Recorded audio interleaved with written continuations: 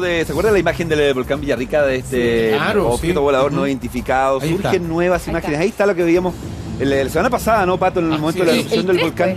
Surgen nuevos avistamientos de ovnis, tema que se ha puesto sobre la mesa. Y Cristian Herren está con nuestro querido ufólogo Rodrigo Fuensalida para contarnos detalles de estas nuevas eh, imágenes, nuevos avistamientos y la polémica que surge en torno a este tema. Claro, y la pregunta al escuchar a Iván Torres también que surge es, ¿tendrán algo que ver los ovnis con las altas temperaturas en el mes de marzo?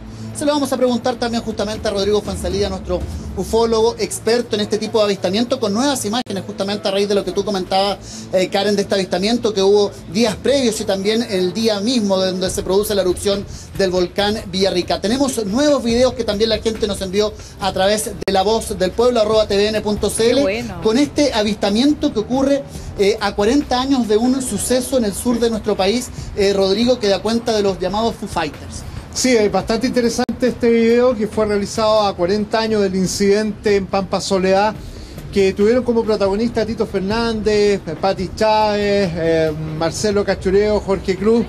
¿Qué es lo que estamos viendo en este video que, estamos, mostrando a continuación? En este minuto son una serie de luces que aparecieron en el norte, fueron grabados por nuestro amigo Jonathan Gary, estuvo también Mario Pizarro, de, los grupos eh, OVNI Chile, eh, Chile OVNI y CIFOP también, estuvieron presentes en medio de esta noche cuando pudieron captar unas luces lejanas. Esto solamente era visible por medio de las cámaras de video.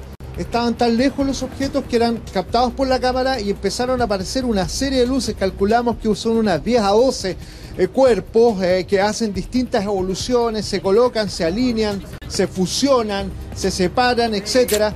Y esto duró bastante rato, ¿ah? Y esto está en el cielo, no en los cerros, entre paréntesis. Oye, ah, podemos pasar también a aprovechar, yo hablaba del sur de Chile, de Chile, tú hablabas del norte. Hay otro video que también eh, tenemos acceso a través del Buenos Días a Todos, videos exclusivos que nos entregó Rodrigo Fuenzalía, de un avistamiento en Puerto Natales que tiene que ver con un ovni cilíndrico.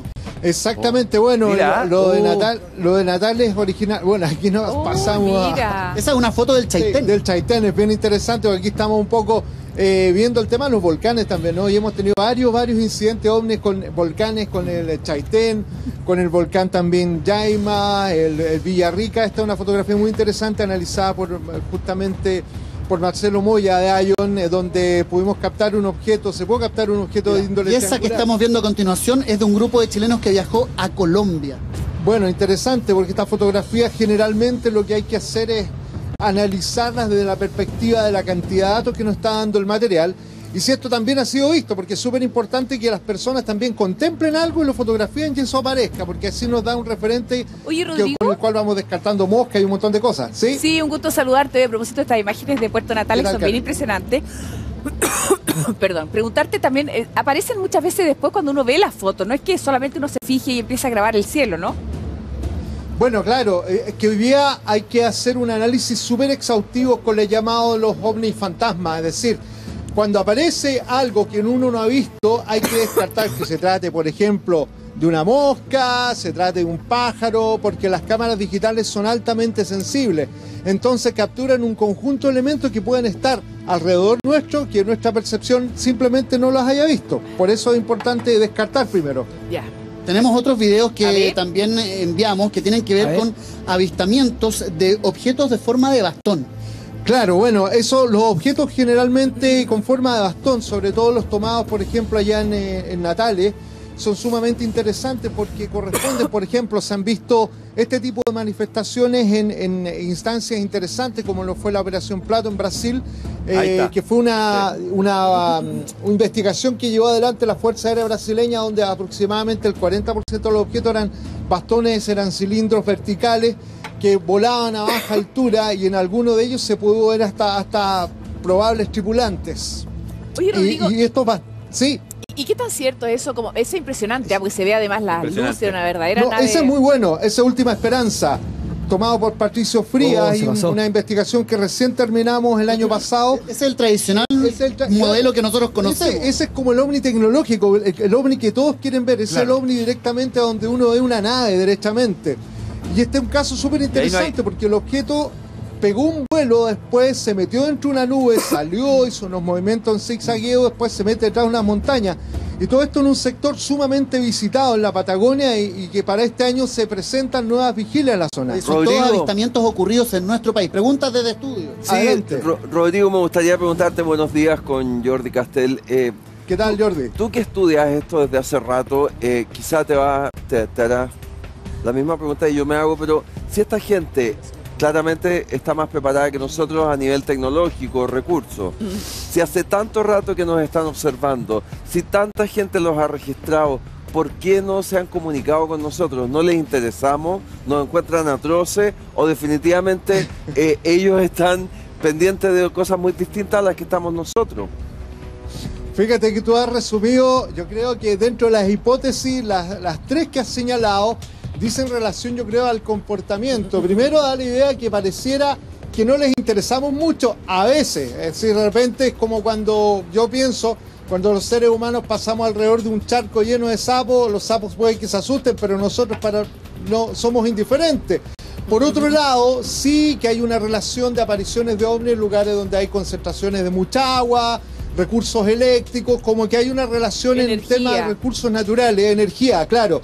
Y yo creo que en este minuto nos deben observar con bastante distancia, insisto, hay que cualquier forma pensante o inteligente y si son altamente hay que ser realmente inteligente para no tomar tanto contacto con él. Yo creo que ¿y, qué tan cierto, ¿Y qué tan cierto es esto como de, porque a veces uno se entera de, no sé, de avistamiento, de información, porque, no sé, alguien de la Fuerza Aérea de no sé qué países salió o, lo despidieron y entrega este material o se aburrió de guardar secretos. ¿Existe ese secretismo, existe ese material que es tan confidencial y que eh, ahí los países como que se pelean por guardar?